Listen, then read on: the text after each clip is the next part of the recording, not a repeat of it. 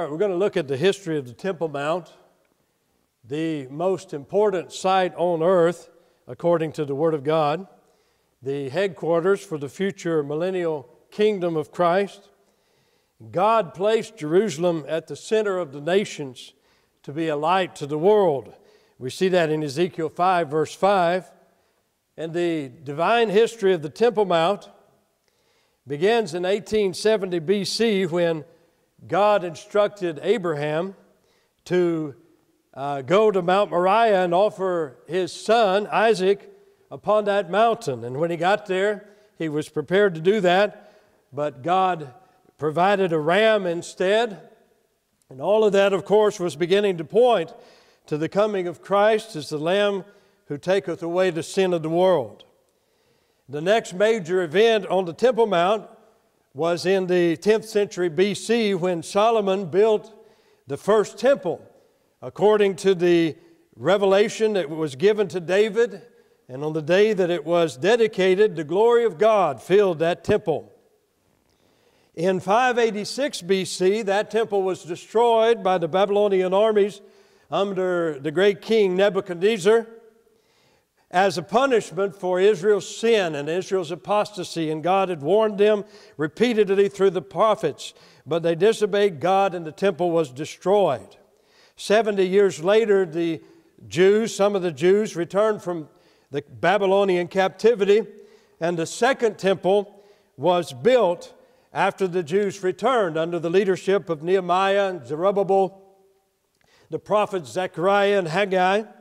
But the glory of God never filled that temple. It was later beautified by Herod. But before that, in 534 BC, Daniel prophesied of a vile person who would desecrate the second temple. And that vile person came in the form of Antiochus Epiphanes, a forerunner of the future Antichrist. And Epiphanes desecrated the temple just as Daniel prophesied and uh, uh, placed abominable things there, sacrificed pigs, set up idols in that temple.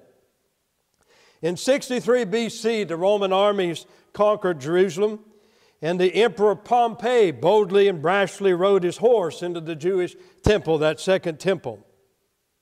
In 19 BC, just a few years before Jesus was born, Herod the Great who was a great builder, but he was also a great hater of God, enlarged the second temple and also polluting it with pagan imagery. Then in 3 BC or thereabouts, Jesus, as an infant, was presented in that temple to God. Mary's offering of purification was made in that second temple. In about 30 AD, Jesus prophesied that that temple would be destroyed and not one stone but would be left standing upon another. That year, when Jesus was crucified, the veil in that temple was rent from top to bottom, signifying that the way into the very presence of God has been made clear through the blood of Christ. And then in 70 AD, Jesus' prophecy was fulfilled when the armies of Rome came and they destroyed the temple and they uh, pulled down the stones and literally cast those stones off of the Temple Mount and they crashed down to the pavement below. A coin was struck by the Romans celebrating the destruction of Jerusalem and uh, depicting Israel as a sad slave sitting under a palm tree and weeping because of the destruction of her country guarded by the Roman emperor. Every year, since the destruction of the first temple, in fact, the Jews have had a feast memorializing the uh, destruction of the temple and looking forward to the rebuilding of the temple. And they have done that again ever since the destruction of the second temple. And uh, they meet today at the Wailing Wall and they pray and they look forward to the rebuilding of the temple. In 82 AD, the Arch of Titus was built in Rome, and we mentioned that in the context of the history of the Temple Mount because that arch memorialized the destruction of the second Jewish temple. And inside of the arch are the depictions of the articles that they took out of the temple prominently seen there even today is the menorah and the silver trumpets and other articles. The second Jewish revolt in one, between 132 and 135 AD was put down brutally by the Romans. But during that revolt, the Jews struck a coin and it depicted the facade of the second temple and the ark inside of the temple. Emperor Adrian built after the destruction of Jerusalem, after the second revolt, built a pagan temple on that mount, tried to erase every memorial of the Jews. And then the Muslims came. 1614 AD, the Muslims conquered Jerusalem, the Persians. And uh, Heraclius then recaptured the Jerusalem from the Persians, the Crusaders coming down uh, from the Roman Empire, uh, capturing Jerusalem from the Persians, and they built a church on that site on the Temple Mount. Then Jerusalem was recaptured by the Muslims in 638 AD. The Dome of the Rock was built in 691 AD on the Temple Mount, probably on the very site of the ancient temple. Then the Al Aqsa Mosque was built on the southern end of the Temple Mount. Both of those mosques still stand there today.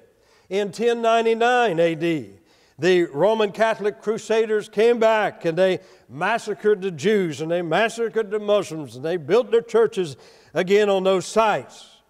Then in 1517 AD, the 400 year Ottoman Empire began. The Muslims had control then for hundreds of years, control of that entire part of the world. In 1541 AD, the Muslims built a cemetery in front of the old Eastern Gate or Golden Gate, thinking that that would keep the Messiah out of the Temple Mount. In 1866, the Jews became a majority in Jerusalem for the first time in 1,200 years. They were coming back. They were uh, uh, longing again for the control of their own homeland. Between 1917 and 1948, the Jews were forbidden access to the Temple Mount during the British Mandate when the British were in charge.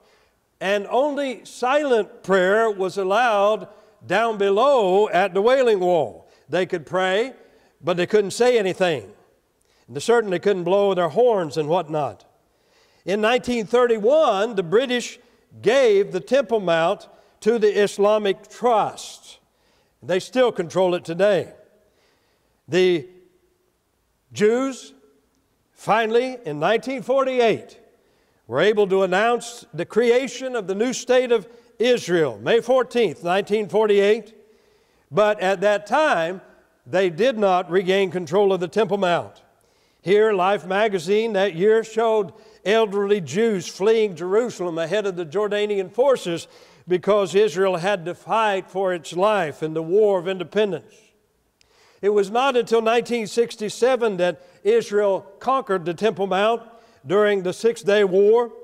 And for the first time in 1897 years, Israel controlled the Temple Mount, but only for a couple of days. Moshe Dayan, a couple of days later, and here we have uh, the chief minister of the Israeli Defense Forces, Shlomo. Shlomo means Solomon. Goren, arriving at the liberated Western Wall. They blew the, the, the shofar, they blew the horns, they celebrated. But then just a few days later, Moshe Dayan, a secular Jew, an unbeliever really, returned control of the Temple Mount to the Palestinian Trust for political purposes. In his mind, the Temple Mount has nothing to do with Israel's future, and what we need today is peace with the Muslims. In 1967, the Temple Mount Faithful established an organization with the goal to rebuild the temple. Gershon Salomon was one of the soldiers that captured the Temple Mount. He is the leader of that group, and they're making preparations for the building of the third temple. And then in 1986, the Temple Institute was founded with the same goal to prepare for the third temple. And they're preparing all of the artifacts that are needed for the operation of the third temple. In the 1990s, the Muslims began to foist the temple denial myth that uh, claiming that the Jews never controlled the temple, that there was no Jewish temple ever on the Temple Mount in Jerusalem. This is similar to the Holocaust deniers claiming that there's never been a Jewish temple on that mount. In 1996, the Muslims uh, destroyed, began destroying artifacts from beneath the Temple Mount that they had unearthed there in an, in an effort to erase every evidence of Jewish history in that place. In 2005, the Sanhedrin was reestablished, and all of this is in preparation for the rebuilding of the temple. In 2007, a $2 million menorah was dedicated and uh, built with 95 pounds of pure gold and uh, an artifact uh, that they plan to put in the third temple. And today it sits out in a public place just a, short, just a stone's throw from the ancient temple, waiting for the rebuilding of the third temple. That building is imminent. The Bible tells us that the return of Christ for His church, for church age saints, is imminent. We're to expect it at any moment and uh, to be ready at all times. And that third temple is always mentioned in Bible prophecy in relation to the Antichrist. Not Christ, but the Antichrist. The coming of Christ is something that lies just ahead of us, and He will build a millennial temple on that spot. And it will glorify Jerusalem as the headquarters of the millennial temple. So, Jerusalem, the most important place on earth.